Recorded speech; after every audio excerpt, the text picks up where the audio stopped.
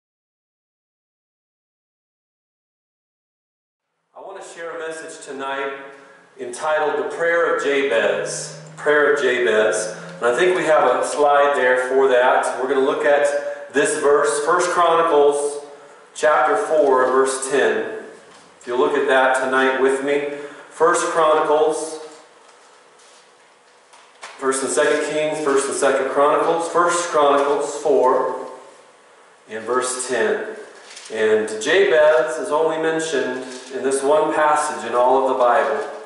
And so, this uh, little passage about this seemingly obscure individual is important because there's not a lot else said about him. But First Chronicles 4, verse 10, it says, And Jabez called on the God of Israel, saying, Oh, that you would bless me indeed, and enlarge my coast, and that your hand might be with me, and that you would keep me from evil, that it may not grieve me. And God granted him that which he requested. And as we look at this, just one simple verse about Jabez, the prayer of Jabez, pretty popular in the modern church. There's a lot of things taken out of context in reference to this. But God wants to speak to us that though we may feel insignificant, though we may feel like our church is insignificant because we're not a large church with all the technology and the programs that maybe some other churches have in town, God wants to grant us what we're requesting of Him, just like He did for this seemingly insignificant man named Jabez. And as we look at 2020, I hope that we look at it uh, from the point of view God, what do you want? What are your desires for my life? What are your desires for my family? What are your desires for my involvement in ministry? And that we would make some requests of the Lord, just like Jabez did. He prayed. We ought to pray more than anything uh, as we look uh, to setting some goals and having some dreams for this new year. We ought to say, God, what do you want? What do you intend for my life? What is it that you want to accomplish in me and through me in this new year? We ought to pray that for our church as well. We're going to spend some time doing that as we look at this verse and break it down a little bit. We're going to pray for our own lives and make some requests of God. And if we pray in faith, God answers the prayer of faith. Amen? And we're going to believe the Lord for our own lives, for our families. We're going to ask God for our church that He would speak to us. Amen? That He would show us His direction, His wisdom, His strategies for the ministry of Finished Work Worship Center. And I believe that's what God wants us to do as we close out 2019 and as we look with hope, with anticipation to what God is going to do. How many believe He's a good God? Amen? God's a good God. He wants to bless us. He wants to open up all the promises, all the treasures, all the blessings of His Word to us. But they come when we ask, and they come when we ask in faith. And so I want us to look at some things. I have a scripture in there, Zoe, Proverbs 29, verse 18. If you could pull that up. Proverbs 29, verse 18. It says this Where there is no vision, the people perish. That word perish means you're in the process of dying. Where there is no vision, the people perish. But he that keeps the law, again referencing the Word of God, happy is he. If we look at that verse and just leave it there for a minute. If we look at that verse, talking about the prayer of Jabez, asking the Lord to bless us and to help us in this new year, asking Him for clarity, for perspective, for a vision for 2020. Uh, it tells us in this verse where that vision ought to come from. It ought to come from the Word of God. It ought to come from the Bible. We need to make sure that what we're believing God for, what we're dreaming about for our own lives, for our families, and for our church is first of all biblical. Where there is no vision, that word vision in, in uh, the original language, it says revelation knowledge. How can we have revelation knowledge? God has given us this book. Amen? to reveal himself to us. So if you, if you read it like the original language says, it says, where there is no revelation knowledge, it says in some translations, the people cast off restraint. They're in the process of dying. They're not living in blessing, they're living in cursing or curse. They're cursed because they're not going God's way. So we need to say, God, I want to get into your word the goals, the ambitions, the dreams that I have for this new year, God, I want them to be scriptural for my life. I want them to be scriptural for our church. If we find out what the Word of God says and let it shape our vision, let it shape our perspective, give us clarity in what we see for the future, it says we're going to be happy. Amen. We're going to be blessed. So where there is no vision, the people perish. We need to say, God, give us vision. Amen. But the, he that keeps the law, he that looks to the Word of God, says, Holy Spirit, help me live this Word every day. It says, happy is that individual. 1 Corinthians chapter 2, verse 9, I think we have that in there as well. It says, But as it is written, eye has not seen, nor ear heard, neither have entered into the heart of man the things which God has prepared for them that do what? Love Him. Amen? If you have no other goal in this new year, it ought to be, I'm going to love God and I'm going to love people because God loves people. Amen? I'm going to love God and I'm going to love people. And if we do that, this verse tells us, and this is actually a quote of an Old Testament scripture in Isaiah, almost word for word. It says, Eye has not seen, nor ear heard, neither has entered into the heart of man the things that God has in store for you. And those are good things. Amen? blessings that we have yet to ever see in our lives before, God says, I have those in store if you'll just love me. Love me in the way that I want you to, going by way of Jesus Christ and Him crucified, having proper faith, spending time in the Word, and being yielded to the Holy Spirit. If we'll love God in that way, there's no limit to what God can do in our personal lives, in our families, and in this church. And so I want us to look at these uh, parts of uh, the prayer of Jabez. We have it in a PowerPoint. And I want us to just take some time tonight. We're just going to pause on a couple of these different slides after we look at them, and then we're going to pray and, into what the, this verse is saying. Again, when you pray into the Word of God, you're praying the will of God. And if you pray the will of God, you're going to have some good results. Amen. Some good answers to prayer. And so I want us to look at that. Do we have that PowerPoint? So that first slide, I want us to take this first part of verse uh, uh First, Chronicles 4.10, the prayer of Jabez, where he says, Bless me indeed. Oh, that you would bless me indeed. Can we just take a few moments tonight? If you're watching over Facebook Live, it's not a normal type of message, but would you respond to God's Word? We're going to put God's Word into practice real fast. Amen. We're going to hear it and pray into it. But let's say this prayer tonight and let this be a guide for just a few moments as we take a few moments to pray. And let's just say for a few moments, Heavenly Father, in Jesus' name, as I exhibit proper faith in Jesus and the cross, would you please, like the prayer of Jabez says, bless me indeed? What do we mean by that? This is what I want us to have in our minds as we pray for a few, mo few moments uh, after we look at this. Number one, how do we want God to bless us indeed? Growth. Amen. Do you desire growth in your spiritual walk? Spiritual maturity in the sanctification process. That process of us becoming a little bit more like Jesus. That's one of the ways we ought to say, God bless me indeed. Help me to grow, to mature in, in becoming more like Jesus. Number two, we ought to say, Heavenly Father, give us, bless us in this way, bountiful provision for my physical, material, emotional, and spiritual needs. I think that's a, a biblical prayer, don't you? God, would you help us? Give us bountiful provision. Let's pray for a few moments. God, bless me indeed. Bless me with enough to bless others around me And that's the way God blesses us, doesn't He? He gives us enough not just for us, but He gives us enough to where we can share with others. It's overflowing from our lives. And let's believe the Lord for that. Can we just take a few moments and uh, let's believe the Lord? Let's pray for our own lives. And let's pray into this uh, verse. We'll just leave that slide there if you want to look up there as a guide. Let's believe the Lord for that. Would you pray with me? Let's all just seek the Lord. Heavenly Father, we just love you tonight. We thank you, Jesus, for your sacrifice upon the cross.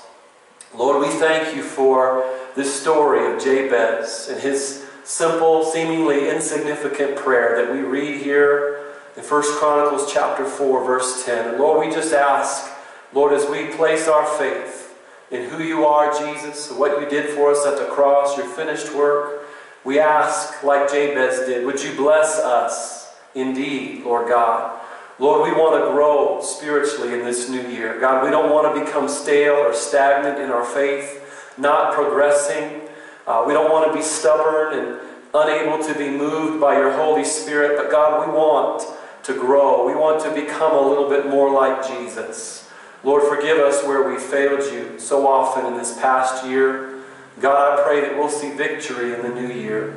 That we won't fail you in those same areas in this new year, but God, that we'll learn lessons from those times of failure.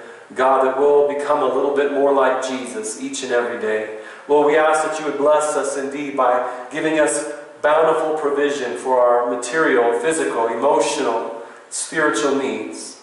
God, may we look to you as our source, not to the work of our own hands, not to the ways of the world to meet our needs. God, help us to realize that you are, as we said this morning, El Shaddai, the all sufficient one. You're our sustainer. And God, forgive us for looking to lesser loves to provide what only you can provide in our lives. God, be our source of life and living. Be the one who gives us bountiful provision. God, Jehovah Jireh, our provider in this new year. Lord, we're believing you for that, for our own lives, for our family. Lord, we ask that you would bless us indeed God, give us blessings enough for us, but also enough for others around us. Lord, help us to realize that you blessed us so that we could bless others. God, we don't want to hoard all the good things of God to ourselves and never share them. God, we want people to see your goodness in our lives. We want to testify of the times that you heal us. We want to testify of the times where you bring provision in our lives. We want to testify of the wisdom, the answers that you give us for the difficult decisions that we face. So, God, speak to us, bless us in these ways tonight. God, let our families walk in these same blessings.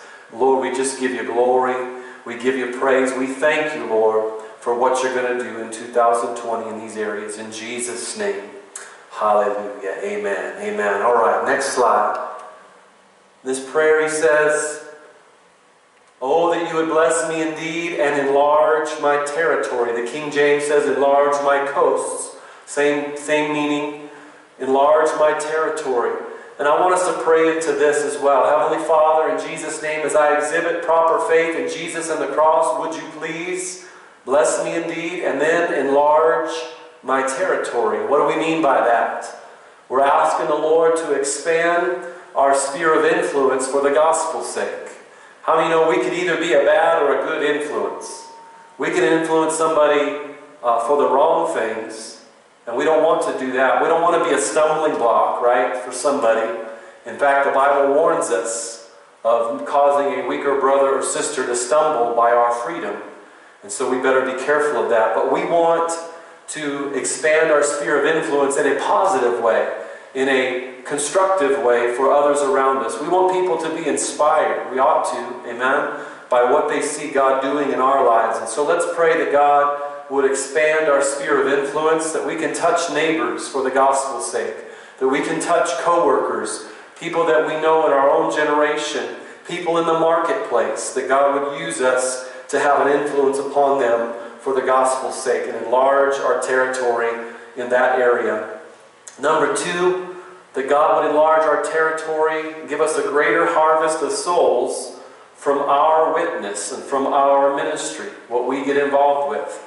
That God would give us a holy boldness to speak up. The devil wants us to be quiet, right? Shut your mouth, quit making waves, uh, stop stirring the pot. And God is saying, no, sometimes we need to speak up.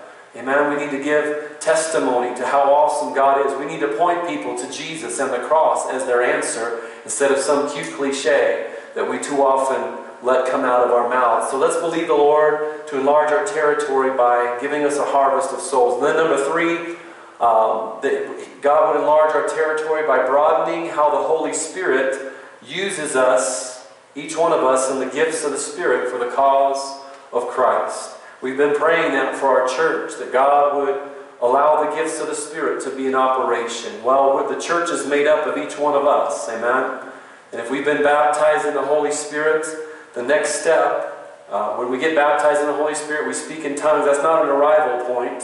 That's a gateway for God to use us in the gifts of the Spirit. And so we need to believe the Lord for our own individual lives that those nine different gifts that 1 Corinthians 12 talks about that are gifts of the Holy Spirit, that they would be in operation as God chooses. Amen? We don't get to command God regarding that, but we can say, God, I'm available. Lord, would you use me? And I believe the Lord wants to do that. Why are the gifts of the Holy Spirit necessary uh, for enlarging our territory? Because it says that it brings exhortation, edification, and comfort to the body of Christ. And as Jesus' return gets closer, we need more exhortation, edification, and comfort. And that's going to come as we say, God, I'm, open, I'm available to be used in the gifts of the Spirit. So, can we just take a few moments and pray into uh, this part of the verse? Enlarge my territory. Let's ask God to help us in that way tonight. Heavenly Father, we come to you again in Jesus' name. We thank you again for the example of uh, Jabez and his prayer his simple prayer to you, God, asking, Lord, that you would enlarge his territory. Lord, we just ask for each one of us that you would expand our sphere of influence for the gospel's sake. We each have people that we uh, cross paths with all the time, whether it's at school, whether it's neighbors, whether it's people in the marketplace, people at church. God, I pray that we'll be ever so aware of how desperate and broken and lost the people are in our own city. And God, expand our sphere of influence. Help us to influence people in a positive way with the Word of God, with the testimony of Christ, so that they might get saved. Lord, we're asking you to enlarge our territory by giving us a greater harvest of souls from our witness, from our ministry. God, you told us that sometimes we're going to sow a seed and someone else will water it, and you'll bring the increase. We may not see that person uh, make a decision for Christ the first time we sow a seed into their heart. But God, I believe in you for a harvest of souls. I believe in you, God, that we'll see people uh, make a commitment to you and give their hearts to you. Lord, let us be a part of evangelizing Colorado Springs with the good news of Jesus Christ and Him crucified. Give us a harvest of souls. Lord, I pray that you would enlarge our territory by broadening how the Holy Spirit uses each one of us in the gifts of the Spirit. Let this be a church where the gifts of the Spirit are in full operation. Lord, tongues and interpretation of tongues, prophecy, words of faith, words of wisdom, healing, faith, miracles. God, we want all the gifts to be manifested in this place, not for our glory, but for the glory of the Lord Jesus Christ, that we might be a church that's uh, experiencing exhortation, edification, and comfort. Lord, let those gifts of the Holy Spirit be in operation. Give us a desire to seek you for those gifts. Lord, use us as you choose in the gifts of the Spirit. Lord, we'll just give you glory. We'll give you praise. In Jesus' name. Hallelujah. Praise the Lord. All right, so the verse, the prayer of Jabez says, Oh, that you would bless me indeed. We need to pray that, not just tonight, but as we go into this new year. Oh, God, that you would enlarge my territory. We just prayed that. All right, and then the next one, it says, Be with me. Be with me. That was Jabez's prayer. And I want us to pray into this part of the verse. Heavenly Father, in Jesus' name, as I exhibit proper faith in Jesus and the cross, would you please be with me? What do we mean by that?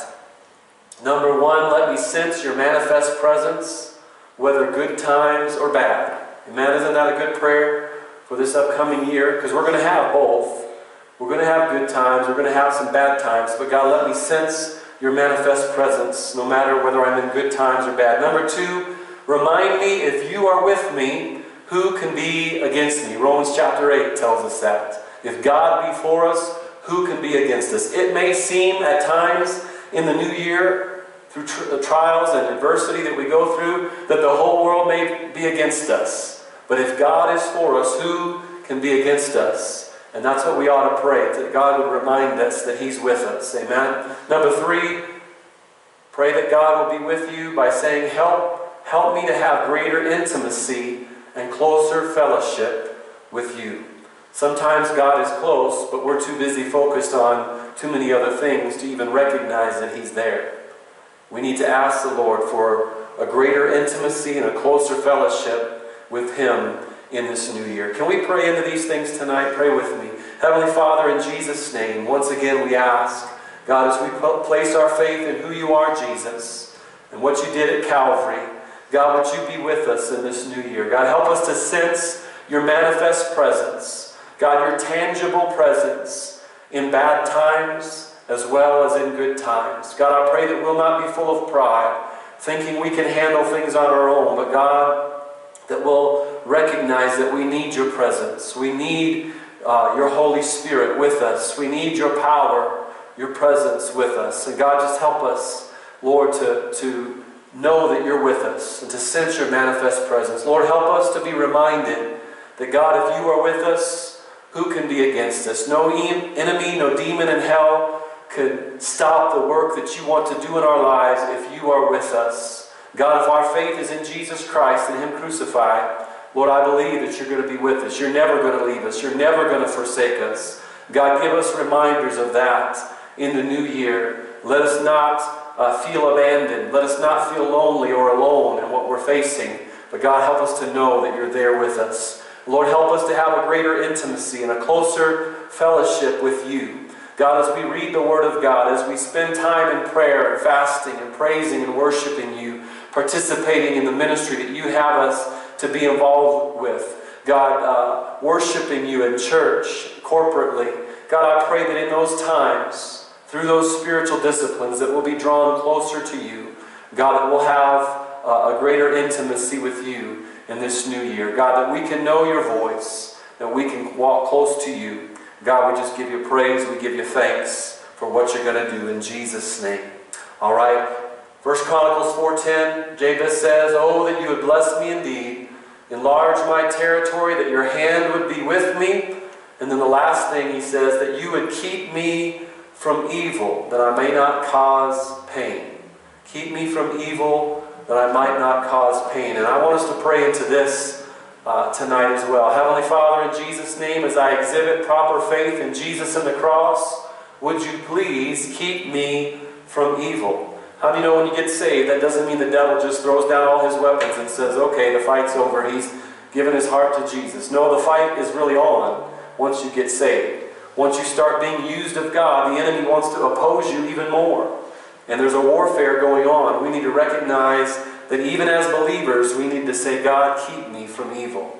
Uh, number one, don't allow the devil, the thief, that John 10 talks about, to steal, kill, and destroy in my life in this new year. We ought to ask the Lord to help us with that. Number two, help me to cast down imaginations and every high thing that exalts itself against the knowledge of you. All right, next slide. Number three, when we're asking the Lord to keep us from evil, we're saying, Give me discernment to know the difference between the holy and the profane, to know what's of the Holy Spirit and what's of another spirit. And so, can we go back one slide? Let's pray into these uh, things tonight.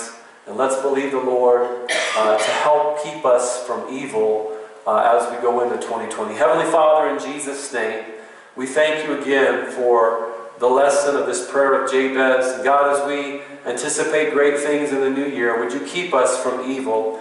We know that God, the enemy wants to steal, kill, and destroy. He wants to rob us of the blessings, of the promises, of the good things that you have for us. We pray that you would keep us from evil. God, that his wicked schemes and his fiery darts would not prosper, but God, that they would be defeated in the name of Jesus. Lord, help us to cast down every imagination and every high thing that exalts itself against the knowledge of you. God, let the passion of our heart be to know you, God, to know you in the power of your resurrection, the fellowship of your sufferings, being made conformable to your death. God, anything that gets in the way of us knowing you, God, I pray that you would cast it down in Jesus' name. Every wicked scheme of the enemy would fail.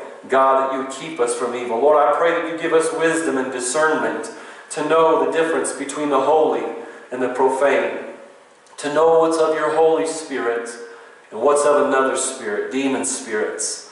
God, help us to not walk in, in things that are going to make us susceptible or vulnerable to demon spirits, another spirit.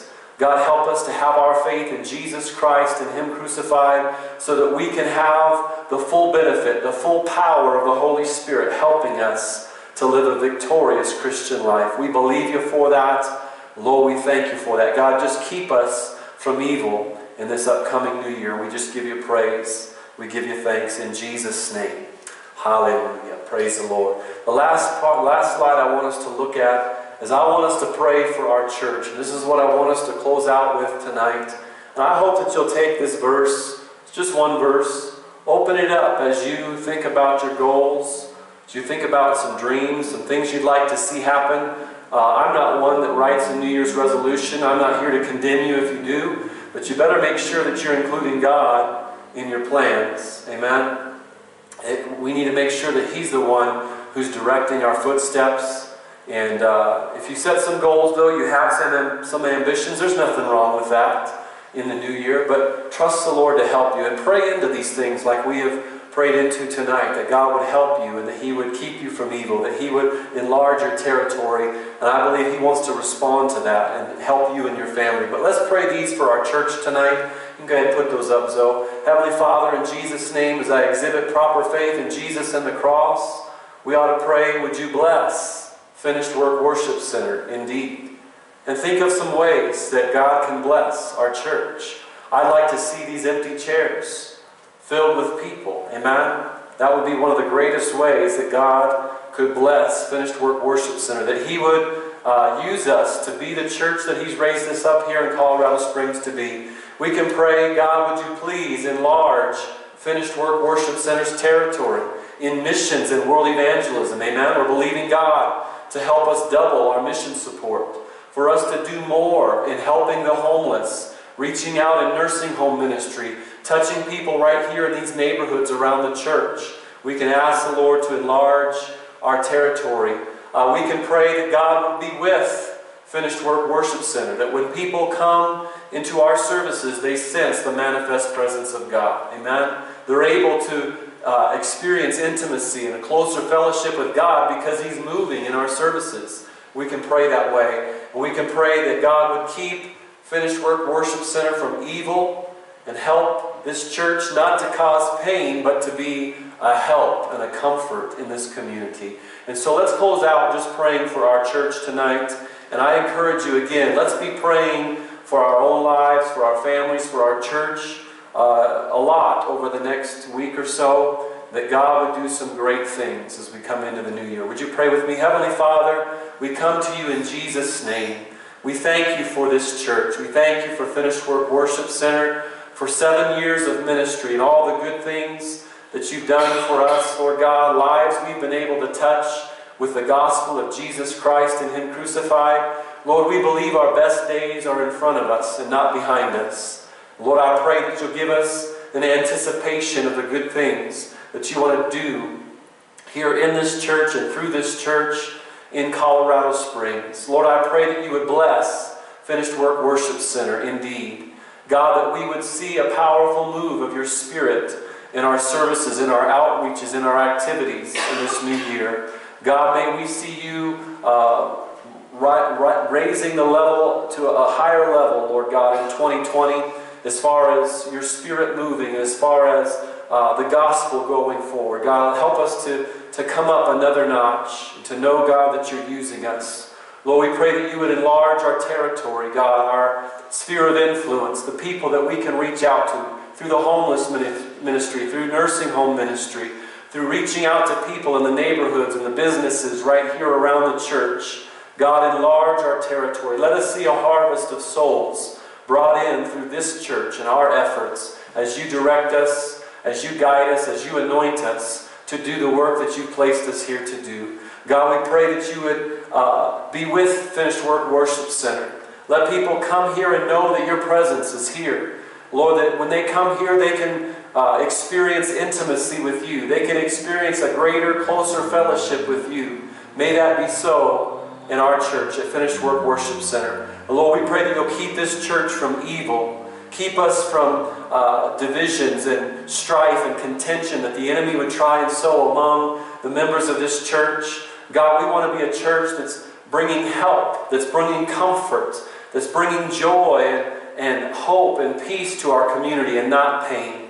And so, Lord, I pray that we'll fulfill every purpose, every plan that you have for us as a church. God, we just praise you. Lord, we thank you for what you've spoken to us tonight in this simple verse, the prayer of Jabez, 1 Chronicles 4.10. God, I pray that we'll pray into it as we look at our goals, our dreams, our ambitions for 2020. Lord, I pray that we'll be wise and include you in all of our plans. Lord, we just pray your blessings upon us, your blessings upon our family, your blessings upon this church. Give us a great new year in your presence. Bless us as we leave this place tonight. Help us to put into practice all that you've spoken to us in this service. And we'll give you glory, we'll give you praise for all that's done in Jesus' name. Hallelujah. Amen. Amen. God bless you.